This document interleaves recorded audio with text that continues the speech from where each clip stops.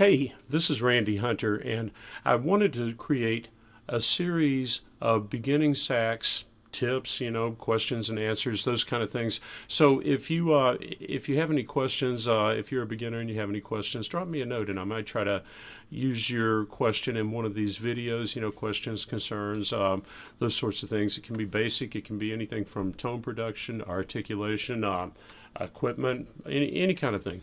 You know, I might use your question in one of these videos, or either way, I'll be sure to get back in touch with you.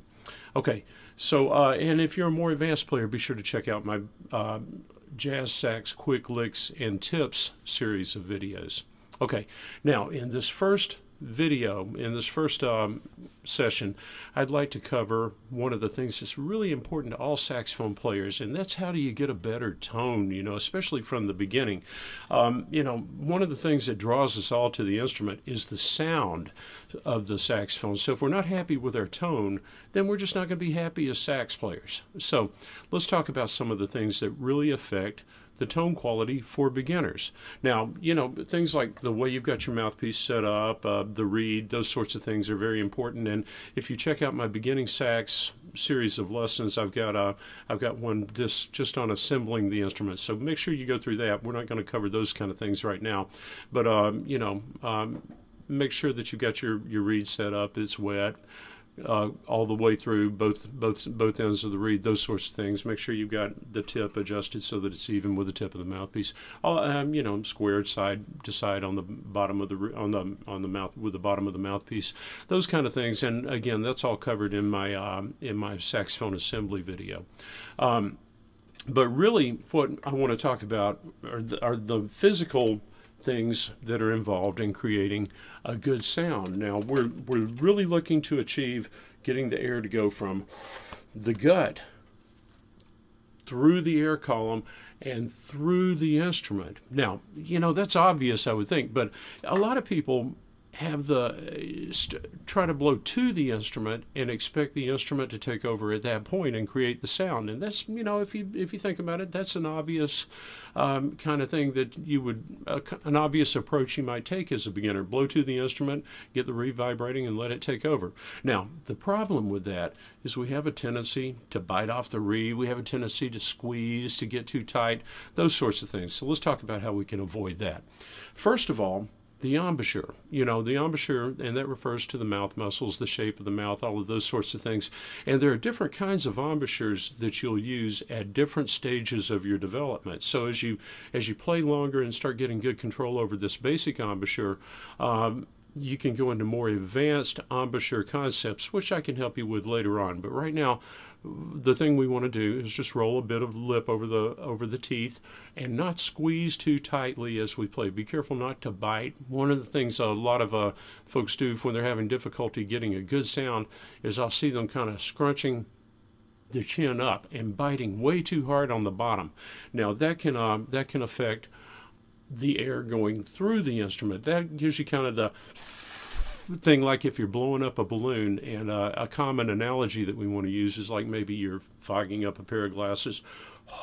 So you keep the throat open and the mouth somewhat relaxed. Now you don't want to keep it relaxed to the point that the cheeks are puffing out.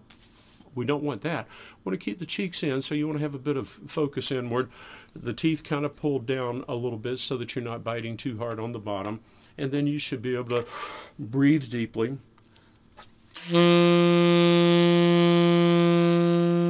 and blow through the instrument and get a nice relaxed sort of sound. Now I've got my alto sax over here. I'm going to grab my alto too so that you can hear on alto and I just played a G on tenor. I'll play a G on alto also. Um, but again, I'm breathing deep, getting there way down deep into the gut.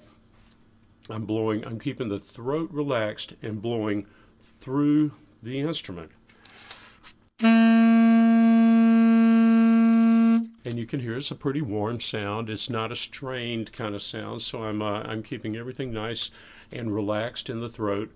I'm keeping the focus in the corners of the mouth without squeezing and without biting too hard. Now I'll play a G scale for you. That's one of the first things you learn on the saxophone. In my beginning saxophone series, in the first couple of lessons, first two or three lessons, we were, you know, I'll have you playing some things like the G scale and some other stuff. But um, so I'll play the G scale for you, and I want you to listen to how I'm going to keep the tone nice and relaxed as I go from low G up to high G, and I'll play it kind of slowly.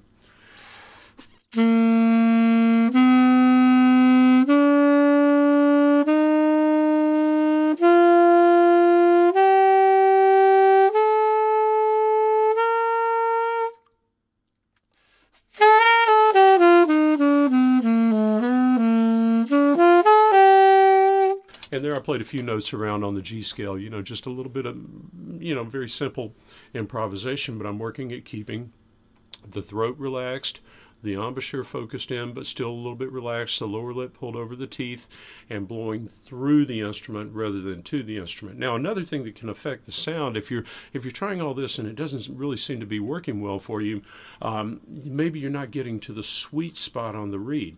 And again, in my beginning sax series, I cover exactly how to try to locate that sweet spot. But you know, um, you want to find the part of the reed that really gives you the best sound. If you if you get too much mouthpiece in your mouth, you get a little bit too far up on the reed, then you get a honky, quacky kind of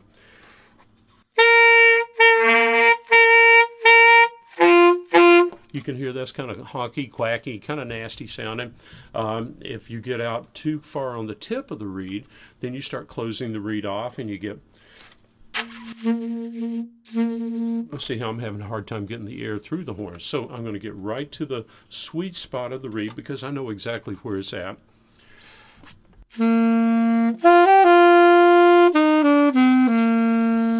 So there, I'm getting that sweet sound through uh, on hopefully hopefully you consider it sweet. I think it's pretty sweet sound myself. So uh, I found the sweet spot on the reed, and that's what I'm after. Now, the other thing that uh, affects the tone a lot of times is people either blow too easy or too hard.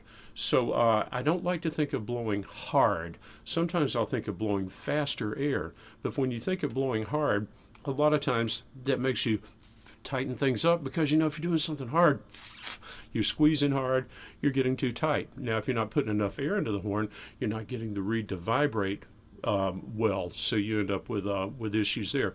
So the things that I want you to work at is you're trying to get the best sound possible, breathing deep, keeping the embouchure focused but relaxed. The teeth roll, the lower lip rolled slightly over the teeth.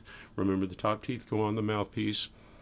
Blow through the instrument with a relaxed feel, working to find, make sure you're on the sweet spot of the reed, and working to find just the right amount of air that gives you the best tone quality. Okay, hopefully this video will help you look for ways to improve your sound.